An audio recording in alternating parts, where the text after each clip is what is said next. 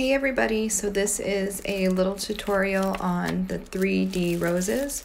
I started by pre-mixing my acrylic paint with a heavy body medium. I prefer golden because of how it responds, but you can also use Liquitex brand. So I put them into some Ziploc bags fitted with some pastry tips. If you have pastry bags, those will probably work better, but I just didn't have any around my house right now.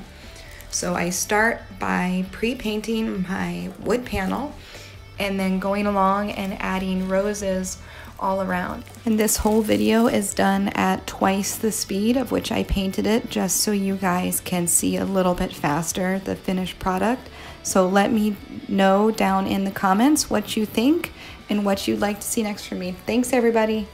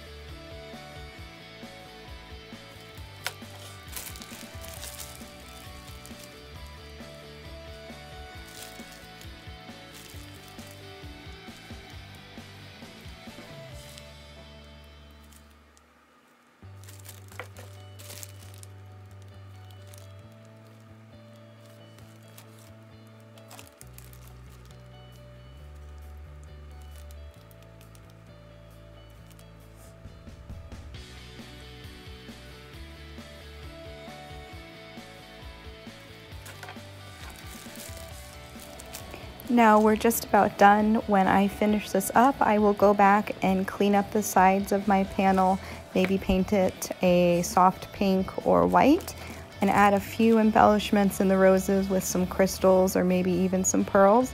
And that will be it. Thank you guys for tuning in and let me know what you think in the comments below.